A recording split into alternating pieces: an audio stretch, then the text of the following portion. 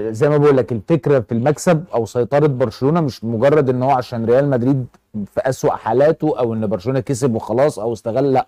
أنت بتتكلم في مكسب بهوية برشلونة بن- بنكهه برشلونة بصبغة برشلونة. مش, مش بالصدفة يعني. لأ مش صدفة ومش وهو آه طبعا استغل سوء حالة ريال مدريد لكن استغله برضه بطريقته.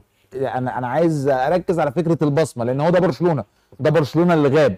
ال- الماتش ده كنت بتكلم مع جاري والماتش شغال الفكرة مش في منافسة السنة دي خالص. still برشلونة بعيد و still ريال مدريد أقرب للليجا وكل الكلام ده كله.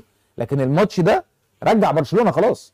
كل السنين اللي ما بعد آه، لويس إنريكي تحديدا خلاص اتمحت. النهارده أنت بتكسب كلاسيكو في سانتياغو 4-0 فبقى العك بتاع آخر سنة لفالفيردي وكيكي سيتيين ورونالد كومان الكلام ده كله اتمسح النهارده.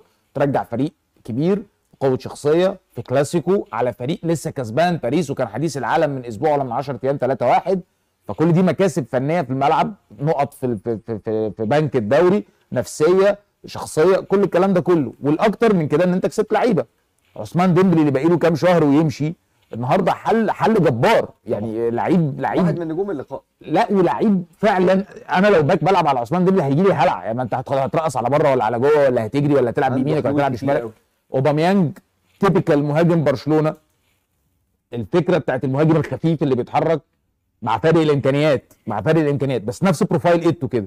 الإمكانيات يعني طبعا لصالح آه، ايتو بشكل كبير. طبعاً. طبعا بتكلم على الإمكانيات يعني. طبعا ايتو فارق بشكل كبير. بس ال profile بتاع المهاجم الخفيف اللي بيتحرك ما بين السنتر باكين اللي بيطلع يعمل ال link مع الوينجين شفته هو بيخرج في الجون الثالث بتاع فيران توريس. ده ده ده برشلونة. برشلونة استعاد كتير جدا. تعرف إن دي بصمة مدرب؟ لما تلاقي نفس اللعيبة اللي كانت بيتصفر عليها أو بتشتم من شهرين ثلاثة النهارده بص بوسكيتس عامل إزاي؟ بص عثمان ديمبلي عامل إزاي؟ بص جوردي ألبا عامل إزاي؟ مظبوط. لا آه، ده بنكهة برشلونة. وفي طبعا علامات استفهام كبيرة جدا على ريال مدريد.